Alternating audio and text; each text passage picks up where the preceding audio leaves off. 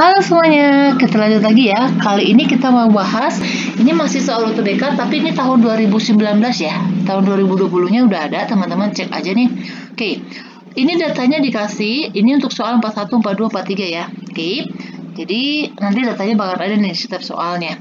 Uh, pasangan atom dalam tabel periodik untuk uh, unsur terletak dalam satu golongan. Oke, kalau dia dalam satu golongan, berarti dia punya elektron valensi yang sama. Oke. Okay? Dan ini dia nomor atomnya ini masih ke apa 20 ya. Jadi kalau misalnya teman-teman itu kan kalau buat konfigurasi elektron kan ada dua cara ya. Dengan menggunakan kulit dengan menggunakan subkulit. Oke, okay. kalau teman-teman mahir yang kulit nggak masalah, yang subkulit juga nggak masalah, terserah. Tetapi nih saran saya ya, kalau teman-teman menggunakan konfigurasinya adalah kulit, oke, okay, nomor atomnya itu lebih dari 20, mending pakai yang subkulit aja. Oke, okay? jadi ini kita buat konfigurasinya dulu nih ini M4. Oke, yang dipakai itu adalah nomor atomnya ya. Karena kan untuk konfigurasi elektron namanya juga konfigurasi elektron, yaitu penyebaran elektronnya gitu. Oh, berisik lagi.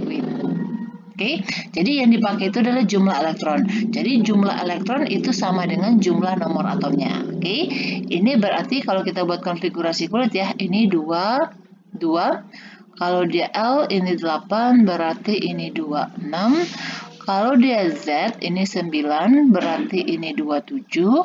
Kalau dia Q ini 12 berarti ini 282.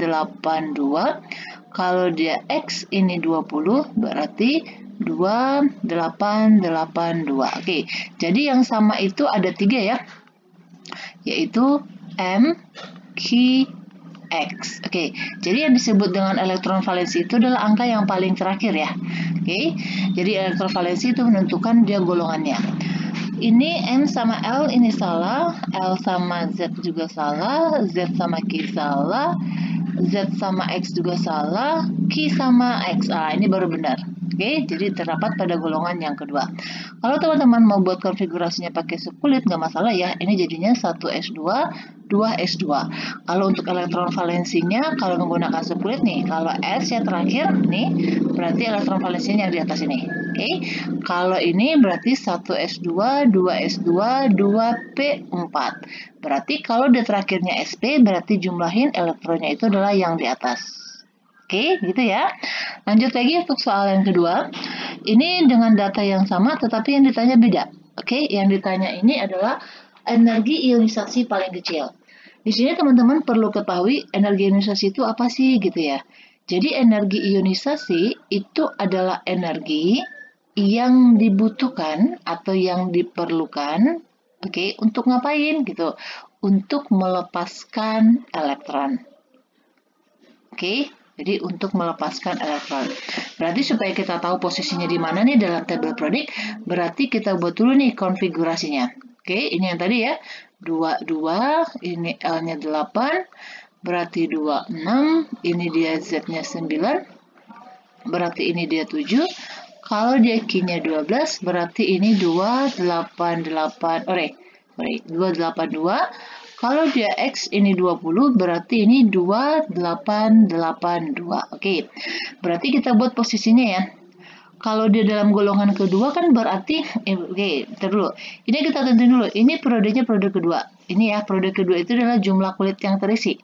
Ini periode ketiga, ini periode keempat. Ini kedua-duanya periode kedua, tetapi golongannya beda ya. Ini golongan 6, ini golongan 7. Jadi kita buat nih. Jadi misal ya, ini kita buat di sini golongan 2A-nya. Berarti ada periode-periode kedua, ini ada M, di bawahnya ada Q, di bawahnya ada X. Sedangkan yang tiga ini sama-sama periode kedua. Berarti kita buat nih, kita kasih space ya. Ini golongan 6, di sini golongan 7. Berarti di sini ada L, di sini ada Z. Oke. Teman-teman ingat nih, oh, bentar. Ini se, se, itu ya, satu satu periode ya. Di sini L, di sini Z-nya. Jadi kalau energi ionisasi itu dari kiri ke kanan, oke, energi ionisasinya itu dia semakin besar. Sedangkan dari ke atas ke bawah itu energi ionisasinya itu makin kecil. Oke, kenapa? Kalau makin ke bawah, ya kan jumlah kulitnya itu makin banyak. Berarti jarak dari inti ke kulit terluar itu makin jauh. Akibatnya apa? Untuk melepaskan elektron pada kulit terluarnya itu nggak diperlukan energi yang besar lagi. Jadi cuma dikit doang energinya. Di sini yang ditanya adalah energi ionisasi energi ionisasi pertama paling kecil. Oke, yang paling kecil berarti adalah yang ini. Oh, sweet, yang X. Oke, berarti jawabnya adalah yang D. Oke. Terus lanjut lagi untuk soal yang ketiga. Oke, masih data yang sama. Yang ditanya ini adalah yang paling basah dalam air. Oke. Hmm, berarti masih ya kita buat konfigurasi lagi ya. Oke, ini kalau misalnya saya buat dalam satu tempat, satu layar gini kayaknya nggak cukup, makanya ini dipisah-pisah. Oke, supaya lebih banyak space-nya. Ini 26, ini Z, ini 9, ini 27, ini Q, ini 12, berarti ini 2, 8, 8, eh, kok 18 sih? Kan cuma 12 doang. Ini 2. Kalau dia X, ini 20, ini berarti 2882. Oke. Ini di sini oke. Okay.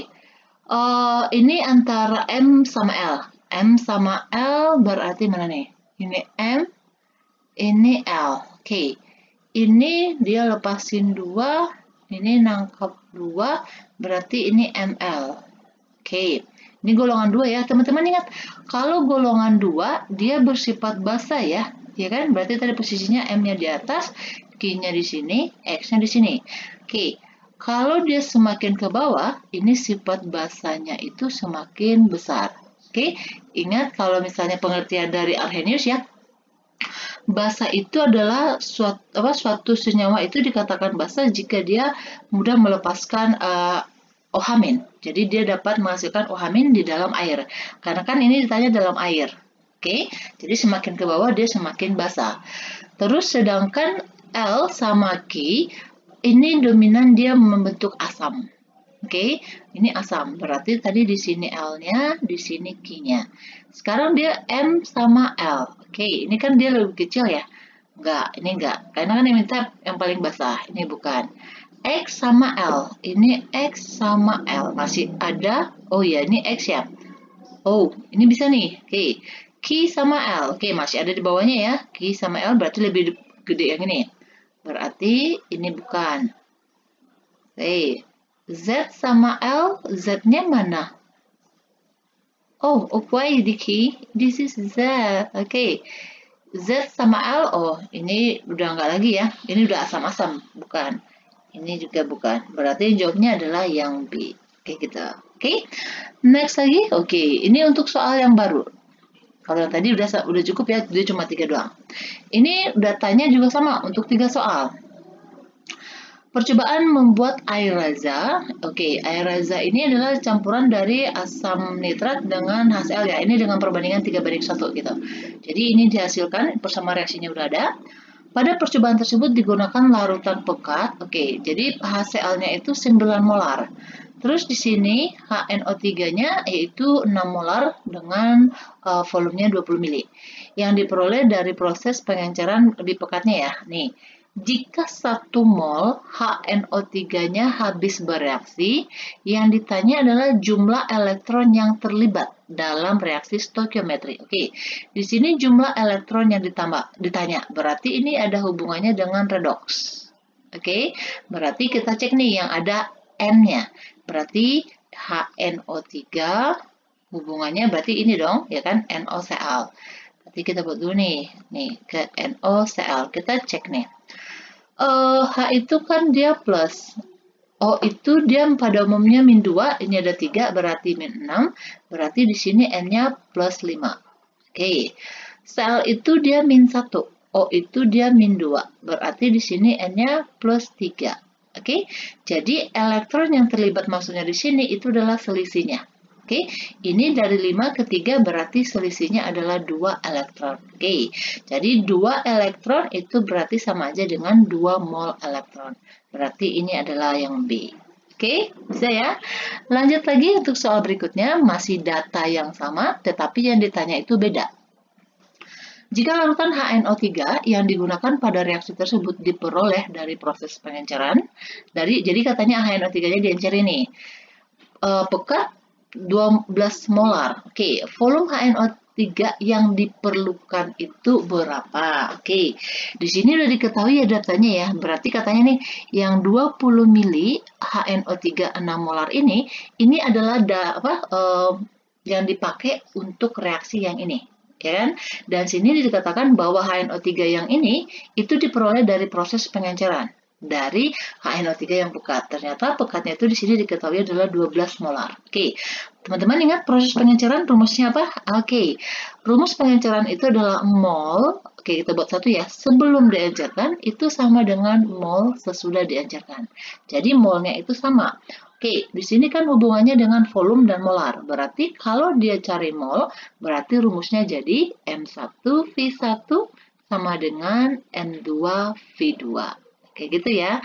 Yang ini adalah hasil dari pengejaran, berarti ini yang N2-nya. Sedangkan yang ini adalah N1-nya. Oke, molarnya ini 12 molar. Oke, volumenya itu yang dicari yang dicari. Jadi berapa kira-kira nih HCl yang dipakai, yang digunakan yang harus kita ambil uh, untuk membuat larutan yang ini. Jadi dia diencerkan. Oke. Jadi ini HNO3-nya setelah diencerkan ini 6 Terus volumenya menjadi 20 mili. Oke, berarti ini tinggal kali silang aja ya. Maksudnya tinggal dibagi aja. 6 kebagi kali ini 102 atau gini deh lebih cepat kiri kanan coret kiri kanan. Ini 12 sama ini sama-sama dibagi 4 ya kan? Ini 3, ini 4. Oh, wait, sama-sama dibagi 4. Berarti ini kan 3, ini jadi 5. Berarti ini 3V1, ini sama dengan 30. Berarti V1 sama dengan 10 mili. Oke, ternyata 10 mili yang diperlukan HNO3 pekatnya untuk membuat larutan ini. Yang HNO3-nya setelah diencerkan. Oke, bisa ya. Next lagi. Informasi yang digunakan masih sama, oke, okay, masih pembuatan air raja. Oh iya, ini just information aja. Air raja ini itu hmm, gini, uh, logam misalnya logam emas yang kayak gitu gitu ya logam logam murni itu dia susah direaksikan. Tetapi kalau emas itu bisa direaksikan dengan ini oke jadi campuran dari ANO3 dengan HCl-nya itu emasnya bakal ngaruh tuh. Oke itu just information aja ya. Uh, yang ini, jika gas Cl-nya yang dihasilkan 0,12 mol, Oke, jadi ini Cl-nya dikatakan dia 0,12 mol ya. Dan semua reaktannya habis bereaksi. Yang ditanya berapa volume HCl yang dipakai? Uh, oh, sorry, yang bereaksi. Oke, kita buat dulu nih persamaan reaksinya, yaitu HNO3 ditambah 3 HCl ini menjadi Cl2 ditambah NaCl ditambah 2H2O. Oke, ini kita buat mula-mula dulu, ini bereaksi dan ini yang sisa.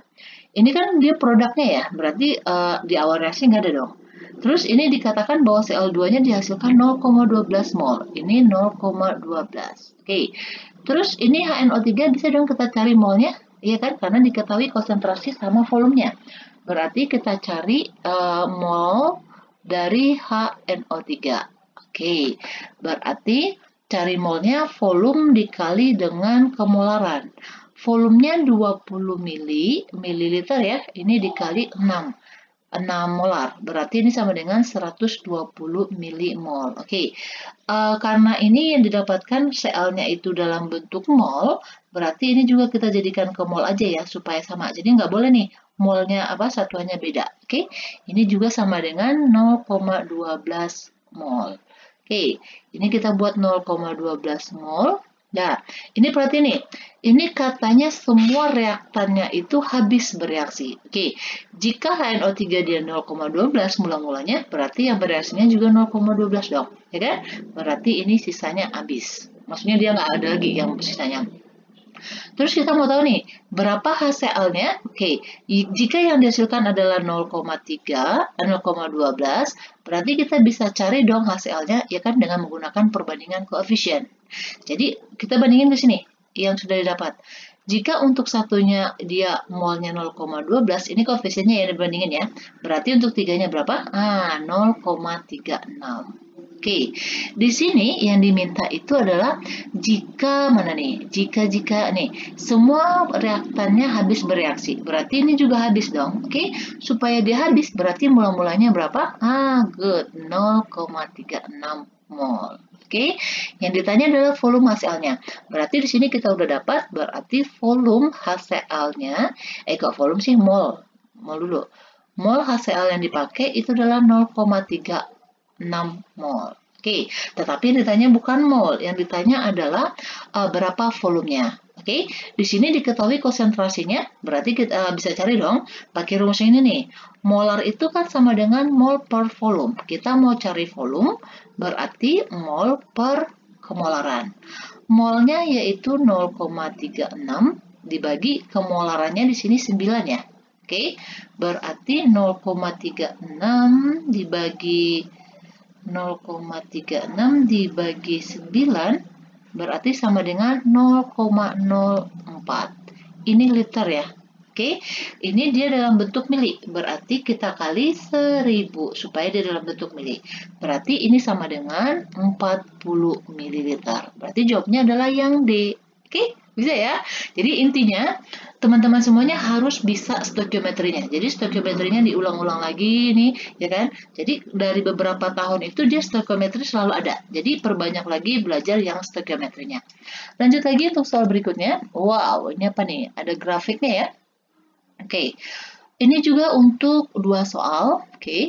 ini ada grafik. Ini teman-teman lihat ya, ini untuk uh, energi. Ini pada, hmm, kayaknya ini katalis deh. Oke, okay. dia menggunakan katalis.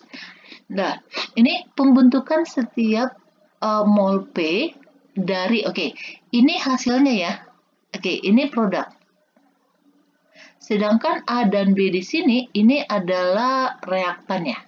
Oke, okay yang ditanya, jadi jika P-nya itu dihasilkan dari A dan B, mana yang terjadi? Oke, teman-teman perhatikan, nih, awalnya dia nilainya. Kalau misalkan ya, ini kita misalkan angkanya 0, ini 100. Berarti semakin ke atas, nilainya makin besar. Ini kan energinya ya. Ini awalnya itu dia posisinya di sini, reaktannya. Sedangkan setelah dia terbentuk produk, ternyata produknya lebih lebih besar ya kan? Jadi jika produknya lebih besar daripada uh, apa reaktannya, nilai delta H itu kan produk dikurang reaktan. Ya kan? Jika produknya ini berarti lebih besar dong, ya kan? Lebih besar dikurang yang kecil berarti nanti hasilnya bakalan positif. Ya kan? Kalau dia hasilnya positif itu berarti dia adalah endotherm. Oke, jadi oh ya bukan ini bukan laju reaksi ya, ini uh, apa termokimia. Jadi kalau dia endotherm berarti dia adalah menyerap energi. Oke, bisa ya. Jadi ini kita bisa eliminasi nih. Yang A sama B udah jelas salah. Oke.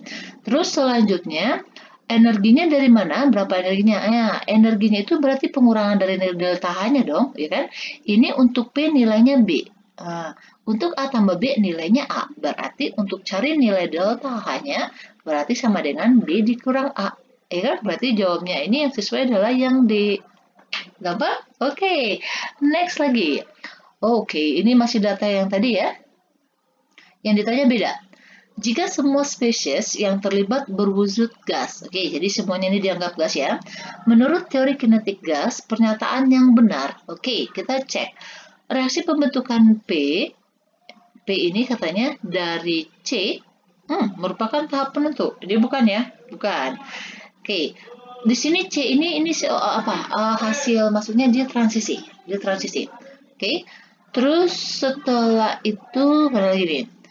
Pada pada temperatur yang sama, tetapan laju reaksi, tetapan laju reaksi berarti kaya uh, pembentukan P dari C itu lebih besar dibandingkan tetapan laju reaksi pembentukan C dari A ke B. Oke, ini bukan. Senyawa antara C pasti akan dihasilkan jika sudah terbentuk senyawa teraktivasi B. Oh, bukan ya. Jadi kita ada tahapannya dulu nih, dari sini dulu. Jadi nggak langsung. Kayak gitu. Terus produk P dihasilkan dari reaksi antara A dan B dengan melewati satu reaksi teraktivasi. Oke, A dan B dapat menghasilkan produk P tanpa O. Ini salah. Oke, jadi yang benarnya ini yang D ya. Jadi nih, A dari A ini, ini reaktan ya.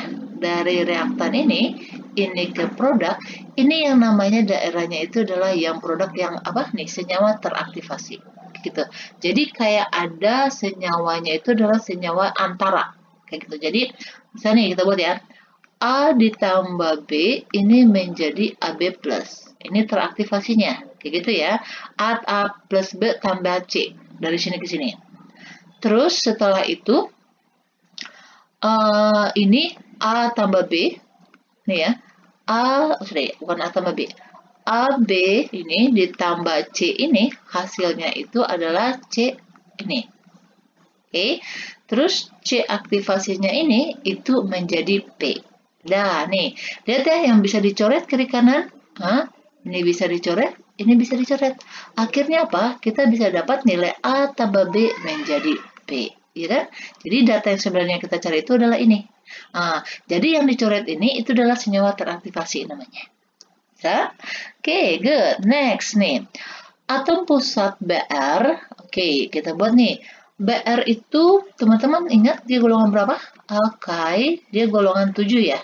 Ini sama-sama golongan 7. Oke, ini sama-sama golongan 7. Kalau dia golongan 7, berarti elektron valensinya adalah 7. Jadi elektron yang dipakai untuk berikatan bersama itu ada 7. Oke, di sini yang menjadi atom pusatnya adalah Br. Jadi Br yang mengikat F.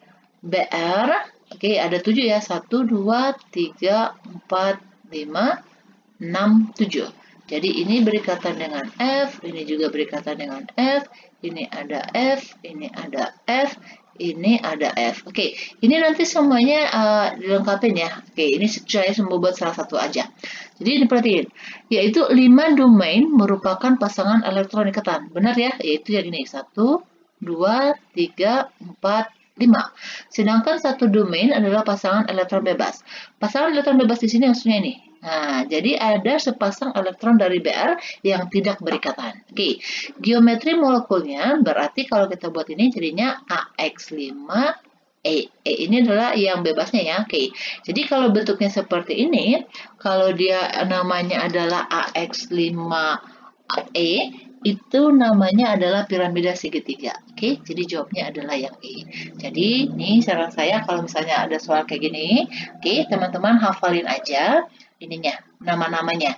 Jadi, kalau misalnya AX4 berarti dia adalah tetrahedral. Kalau misalnya AX6 berarti ini e, namanya oktahedral yang kayak gitu-gitu ya. Sedangkan kalau AXE5-nya ini ini kita bisa tahu yaitu dari ini struktur Lewisnya gitu ya. Oke, okay, next lagi. Oh, gambar lagi ya. Nih.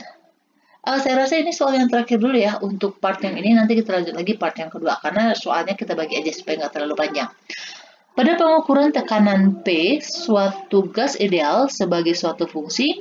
Oke, okay, ini disebutin gaya gas ideal ya. Ingat, persamaan gas ideal itu adalah VV sama dengan nRT. Karena di sini fungsinya adalah ada fungsi tekanan, volume, sama uh, apa nih suhu, berarti jadinya gini, PT per T. Oke, okay. jadi P dan P-nya itu nanti uh, tekanan, volume, oke, okay, itu berbanding terbalik dengan suhunya. Oke, okay. jadi di sini katanya temperaturnya dibuat tetap, dilakukan pada berbagai, oke, okay, ini ada T1, T2 nih. Oke, okay, kalau mungkin kurang jelas, ini yang T1, ini T2, ini T3, ini yang T4-nya. Oke, terus data yang digambarkan dalam grafik di atas. Jadi yang mana katanya yang paling benar? Oke, sekarang kita cek nih. Teman-teman perhatikan ya, ini kan volume ya. Volume ke sini berarti jumlahnya makin besar. Ini tekanan, semakin ke atas juga semakin besar. Coba teman-teman perhatiin, ini lihat batasnya ya. Ini posisinya di sini, ini, Oke, ini. Dan ini T berapa ya? T3 sama T1 dia tekanannya sama. Ya kan? Berarti ini P tekanan T1 itu sama dengan tekanan T43. Sama ya. Terus kalau kita lihat dari tekanannya, yang paling besar tekanannya itu adalah yang nih. Ini ya, paling besar ya. Terus yang kedua yang paling besar itu adalah yang ini, yang T2.